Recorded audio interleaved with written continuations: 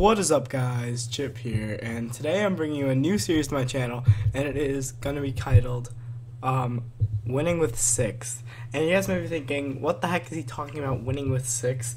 Um, this is going to be a series of me playing the new game, FIFA 2014 World Cup. I'm very excited to bring you guys content from this game. And what I'm saying with six is there's six uh, qualifying groups for the World Cup, and I'm going to be using the website random.org to randomly pick one country from all those six qualifying groups, and I'm going to have to win the World Cup with one of those, one from every one of those groups.